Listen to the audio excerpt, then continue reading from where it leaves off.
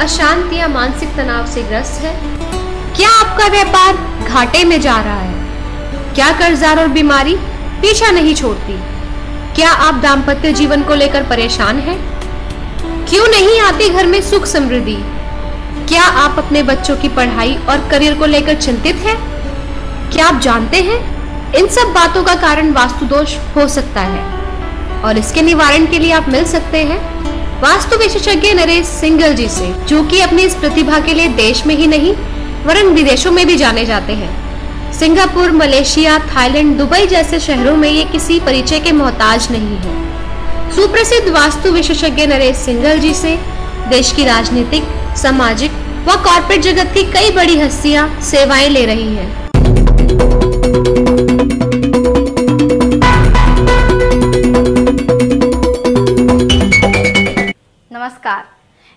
कार्यक्रम सुख समृद्धि और इस कार्यक्रम में आप सभी का एक बार फिर बहुत बहुत स्वागत है। तो आइए समय ना गवाते हुए स्वागत करते हैं नरेश सिंगल जी का। नरेश जी आपका बहुत बहुत स्वागत है। नमस्कार। नरेश जी जैसे कि आप जानते हैं कि इन दिनों हम बात कर रहे हैं कमर्शियल सेक्टर की यानी कि बिज़नेस से रिलेटेड जो लोगों की समस्याएँ होती हैं उनके बारे में।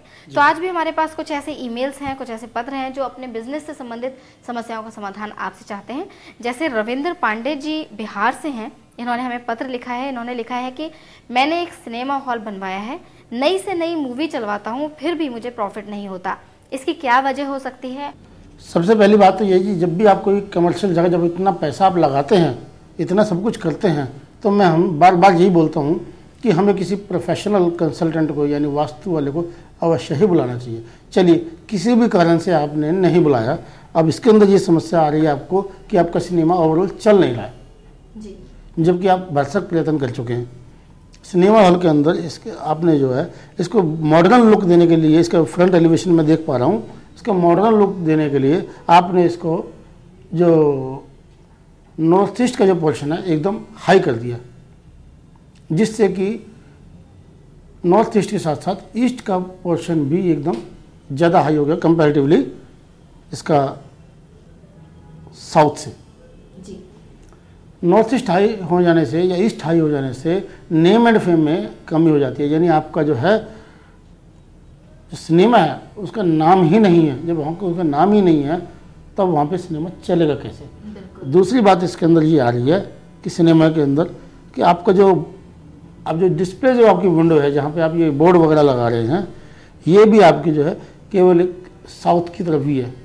जो कि ठीक नहीं है। आपको ये लगाने चाहिए डिस्प्ले विंडो नॉर्थ वेस्ट में। नॉर्थ वेस्ट यानी किस चीज़ का क्षेत्र हुआ? वायु का। यानी उसमें मूवमेंट होनी चाहिए। उसमें बदलाव होना चाहिए। तीसरी जैसे चीज़ में आपने इसमें इंडिकेट की है कैश काउंटर यानी जहाँ से आपकी बुकिंग होती है वही आपका कैश काउंटर हुआ। ये बुकिंग भी जो है ना आपने ऐसी जगह पे बना दी जहाँ पे आदमी जल्दी से टिक ही नहीं सकता। दोनों तीनों चीज़ें गलत हैं। इसके लिए मैं ये कहूँगा कितने बड़े जो आपका सिस्टम है इसके लिए एक टीवी के माध्यम से न लेकर के व्यक्तिगत आपको इसकी किसी भी व्यक्ति से जो भी आपको नॉलेज में कुशल वास्तु विशेषज्ञ हो तो उसकी सलाह लेनी चाहिए। एक छोटी मोटी बात नहीं है जिसको हम टेलीफोन पे या आपको टेलीविज़न के माध्यम से हम कुछ बता पाएँ। बिल्कुल बिल्कुल सही कहा आपने। मेरे ख्याल से रविंदर जी आपने सोचा भी नहीं होगा कि इस तरह की समस्याएँ भी हो सकती हैं, जिसकी वजह से आपका सिनेमा हॉल नहीं चल पा रहा है। तो नरेश जी ने आपको बता ही दिया है कि आपको एक वास्तु एक्सपर्ट की बहुत ज़रूरत है, चेंजेस की ज़रूरत है, तभी आपका सिनेमा हॉल ठीक तरह से चल पाएगा। नरेश जी, हमारे पास एक और ईमेल है। ये जयपुर से आया है हमारे पास, विजय सिंघानिया जी ने भेजा है। इन्होंने लिखा है कि मेरे होटल के अंदर कोई ना कोई प्रॉब्लम बनी रहती है। कभी कुक को लेकर, कभी वेटर्स को लेकर, किसी भी स्टाफ को लेकर, चाहे वो मैनेजर लेवल तक का ही क्यों ना हो। इन्होंने लिखा है कि कृपया मुझे कोई उपाय बताएँ जिससे ये सारी समस्याएँ मेरी ठीक हो जाए और मेरा होटल शांति से बिज़नेस कर सके प्रॉफिट कमा सके। साथ ही इन्होंने नक्शा भी भेजा है। विजय सिंघानी जी, आपने ये आज चाहे होटल हो, चाहे वो मॉल हो, चाहे वो सिनेमा घर हो, दोबारा से आप लोगों से रिक्वेस्ट है कि जो भी इस तरह से कमर्शियल सेक्टर में मूव हो रहे हैं, इन्हें वास्तु कंसल्टेंसी के बिना नहीं चलना चाहिए। कारण क्या होता है कि जब भाग्य स्थिति अच्छी होती है उस भाग्य स्थिति अच्छी होने के कारण ये इस तरीके की बिल्डिंग्स का निर्माण तो कर पाते हैं लेकिन उसको कंटिन्यू नहीं कर पाते। उसको कंटिन्यू का मतलब उससे बेनिफिट नहीं ले पाते उससे फ़ायदा नहीं ले पाते। जी। जब उसका फ़ायदा नहीं होगा तो ऐसी चीज़ का बनाने का भी कोई लाभ नहीं है। तो इसमें क्या है?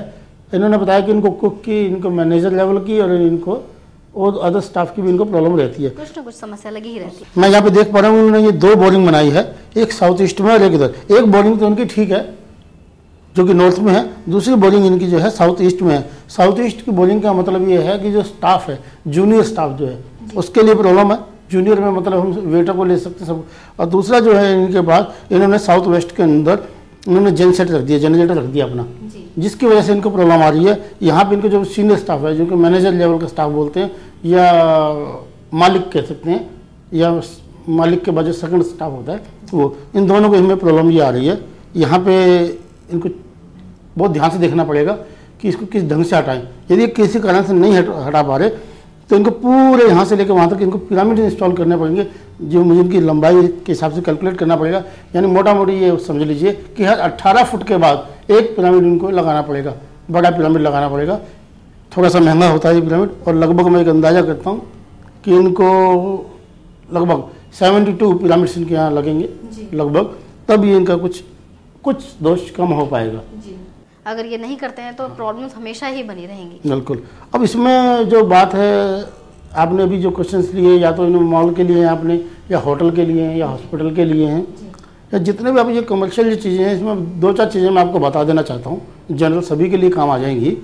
एक तो बोरिंग एक जनरेटर सेट और हेड ऑफ़ द डिपार्टमेंट कह लीजिए, या मालिक कह लीजिए, उसका मतलब पाँच सात चीज़ें ऐसी हैं कि जिनका पूरा ध्यान रखना चाहिए। कैश कहाँ होगा? वो जनरेटर या इलेक्ट्रिक सप्लाई या इन्वर्टर कहाँ होगा? उसका ध्यान रखना होगा।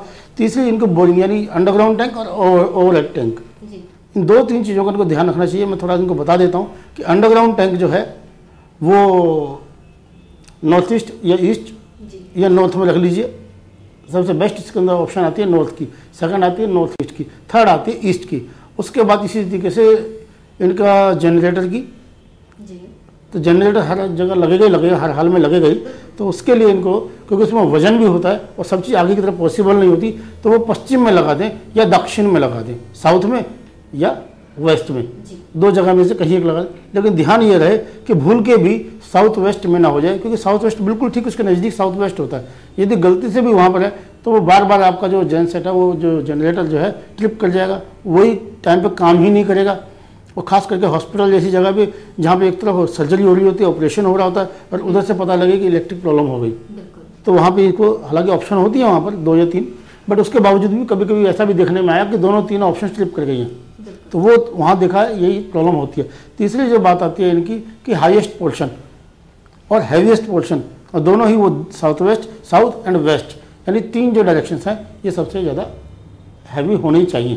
जो भी बिल्डिंग बनवाई जाती है कमर्शियल पर्पज से, चाहे वो मॉल हो हॉस्पिटल हो होटल हो, या कोई और ऑफ़िस हो जो बड़े लेवल पर बनाया जा रहा हो या छोटे लेवल पर बनाया जा रहा हो, कुछ बातों का ध्यान रखना बेहद ही ज़रूरी हो जाता है। मेरे ख्याल से आपको भी ये सारी बातें सुनकर लग रहा होगा कि वास्तु एक्सपर्ट से कंसल्ट ना करके बिल्डिंग बनवाना बहुत ही खराब हो सकता है।